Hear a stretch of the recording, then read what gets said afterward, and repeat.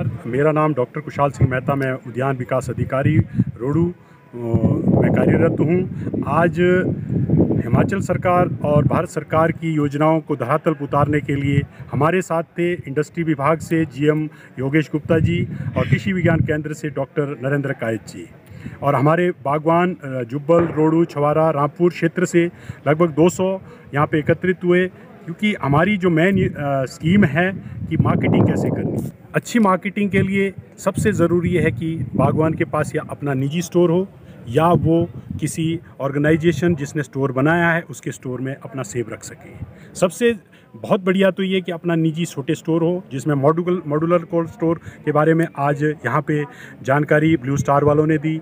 और हमने cool crop उन्होंने दी और हमारे राजीव जी ने जो सी स्टोर से आए थे उन्होंने दी कि छोटे स्टोर किस तरह से लगाएँ और उसमें बागवानी विभाग अभी तक 30 परसेंट तक का अनुदान मैचिंग ग्रांट के तहत दे रहा है और इंडस्ट्री डिपार्टमेंट प्रोसेसिंग में पचहत्तर परसेंट तक का अनुदान दे रहा है। इतना भारी अनुदान जब बागवानों के लिए हैं तो ये इस स्कीम के विस्तृत जानकारी हेतु आज का ये शिविर था। यह सफल रहा। इसके लिए मैं सभी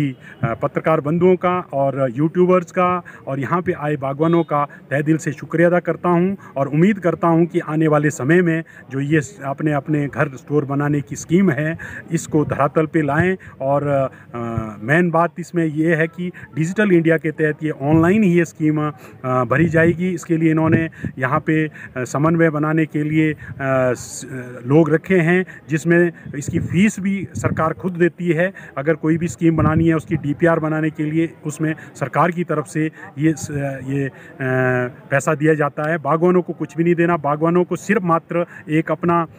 ज़मीन जहाँ पे ये लगानी है, बीजन होना चाहिए और बैंक जो 10 परसेंट मिनिमम जो है टर्म लोन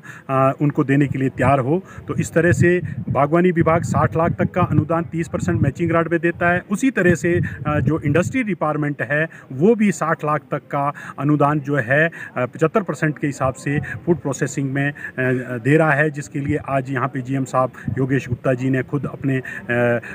इससे बागवानों के बीच में बताया। तो हम उम्मीद करते हैं कि आने वाले समय में रोडू ही नहीं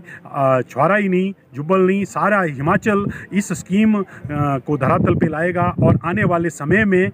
अपने सेब को जो मार्केटिंग है वो एमआरपी पे करेगा, जिस भाव में वो बेचना चाहेगा, जब मार्केट में डिमांड होगी तभी स्टोर से निकालेगा और तभी बेचेगा, क्योंकि अगर देखा जाए पूरे देश में जो सेब है सबसे महँगा बिकता है कंज्यूमर सबसे महँगा ढाई सौ रुपये से लेकर के पाँच सौ रुपये के जी तक खरीदता है और अगर बागवान बेचता है, उसका एवरेज प्राइस पचास रुपये से ऊपर कभी भी नहीं मिला है तो इतना बड़ा डिफरेंस क्यों हैं और इसको कैसे ठीक किया जाए, इसके लिए एकमात्र विकल्प है कि जब तुड़ान करते हैं, बागवान अपना सेब स्टोर में डालें और जब मार्केट में डिमांड हो और जिस भाव में वो बेच सकता है, उस भाव में बेचे। धन्यवाद।